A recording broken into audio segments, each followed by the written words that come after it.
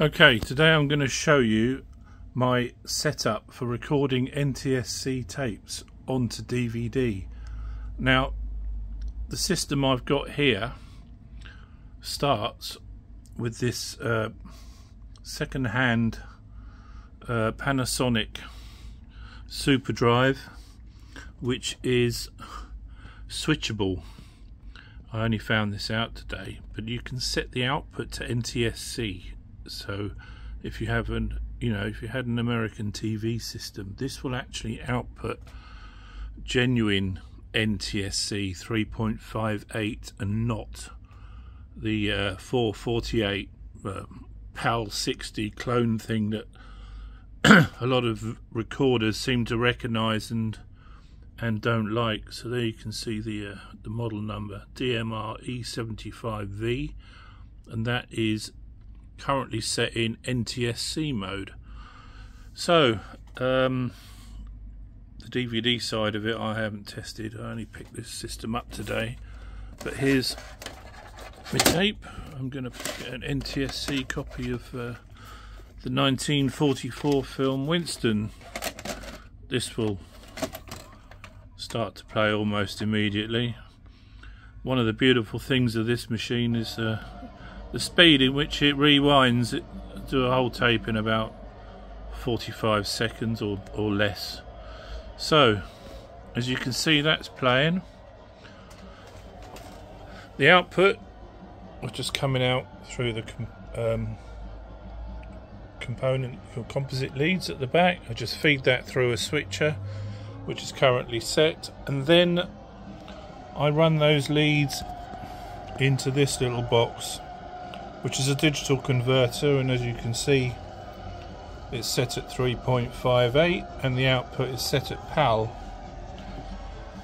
Which then plugs into the back of this lovely little uh, NV um, 75 uh, the reason I run it through here is because I can I can use it to, to adjust the volume so I can I can boost or reduce the volume on this. Um, because this is passing PAL through it I can then if I choose run it through this recorder. And I can just record the PAL onto a disc and if you look up here oh, there's a bit of flicker but uh, as you can see the picture quality is pretty good. You always seem on these systems to get a little bit of flicker at the bottom down here. And I don't know I've never actually managed to get rid of that.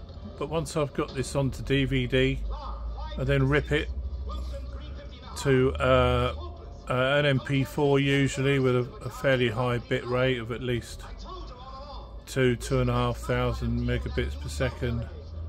And then using a bit of software like Wondershare or something, I can I can just chop that tiny bit off the bottom if it's annoying. So there you have it. A nice little setup.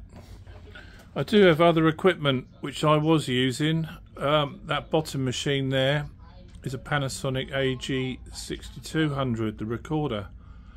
And that machine is what I was using previous to this.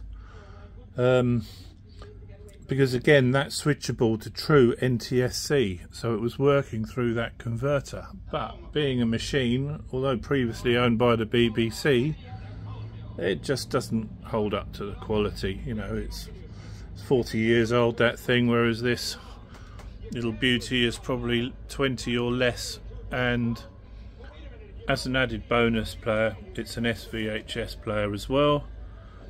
So it's got the um, SQPB system. So although it's playing a standard VHS at the moment this will play super VHS tapes. Um, I don't know if they I've never seen an NTSC super VHS tape but I'm sure that this system would handle it. Uh, for those of you that might be looking to pick up a model of the uh, DMR E75 it came with this manual and as you can see That's DMR ES30VEB. Um, I assume maybe one of these is the European version. Um, but anyway, it's the it's obviously the same player. It looks the same. The operating instructions are are the same. So there's the setup.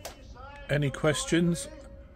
I might be able to help with, and you can just drop me a message in the comments. And I hope this helps you guys out. If you're ever looking to, for a solution, like I was, to getting a a pretty good solid NTSC tape.